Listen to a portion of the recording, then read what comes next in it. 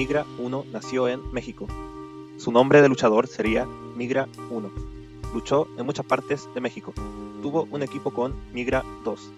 Estos perdieron sus máscaras contra Brazo de Oro y Brazo de Plata en 1979 en una lucha de apuestas.